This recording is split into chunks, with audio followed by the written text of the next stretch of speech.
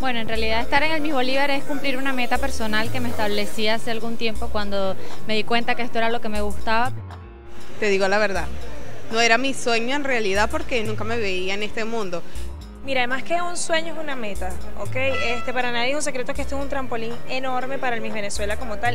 Y a pesar de mi corta edad, poder demostrar que estoy 100% capacitada de asumir este gran reto. Gracias. Bueno, realmente ella siempre de pequeña este, este, se mostró interesada en los concursos de belleza. La llamaron a la casa un día antes del casting y ella me dijo, mira mamá, me están llamando, pero tengo sobrepeso. Entonces ella quiso tomar esa, esa decisión y yo le dije, bueno, yo te voy a apoyar y te voy a acompañar hasta el final. No hay mujer fea sino mal arreglada. Me siento orgullosa porque todas las personas que las ven dicen, pero tantas mujeres bellas en Bolívar, sí, muchísimas mujeres bellas en Bolívar, pero si las hubiesen visto al comienzo no opinarían lo mismo. El sacrificio que, nosotros hacemos mucho, mucho sacrificio porque preparar a esta chica de verdad que hay que tener eh, paciencia. lo más importante es la oportunidad que a nivel regional se le está dando a todas las niñas que puedan tener la gran experiencia de estar en un concurso de belleza como, esta, como es el Miss Venezuela.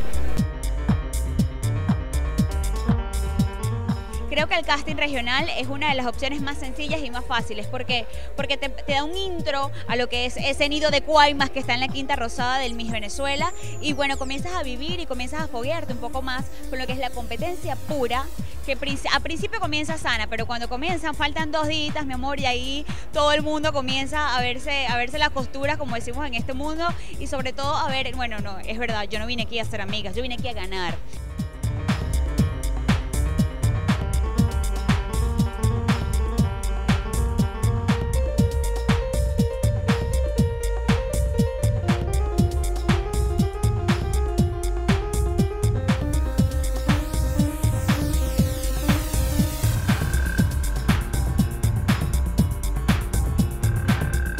En verdad de participar de nuevo no creo, porque tengo 23 años y no, no creo, no. Volveré, volver a intentarlo acá. Em, sí, no, porque ya esta es mi segunda vez, yo participé en el 2009, vengo ahora otra vez para proyectarme, me he preparado. Eh, de hecho, me gradué muy rápido para poder intentarlo una segunda vez.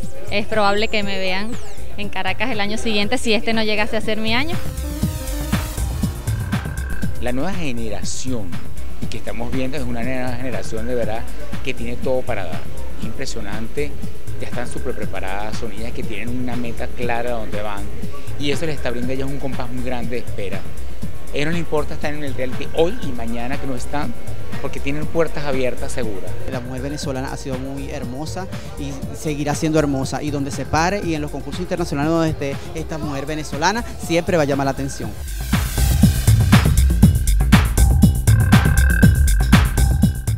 Creo que me sentiría muy emocionada.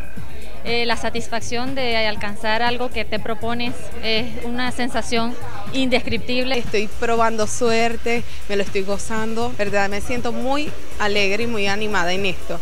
Y si Dios mediante yo salgo con la, con, con la banda para directo al Miss Venezuela, bueno, dar el mejor si me dan el pase, pues me voy, le echo pichón como todo. Yo me considero una mujer guerrera, sobre todas las cosas. Nunca me dejo, dejo las cosas a medias y voy a echarle pichón. Créeme que si me dan cualquier estado, yo estoy segura que el estado Bolívar igual me va a apoyar. Soy de aquí, soy guayanesa, o sea, total. Número 22, Alejandra Eslover. Yo vine aquí con un propósito de ganar el Miss Carabobo y bueno, como lo hice, así voy a ir al Miss Venezuela y voy a cumplir todos mis sueños. Voy a graduarme de bachiller y voy a estar en el Miss Venezuela representando a mi estado Carabobo.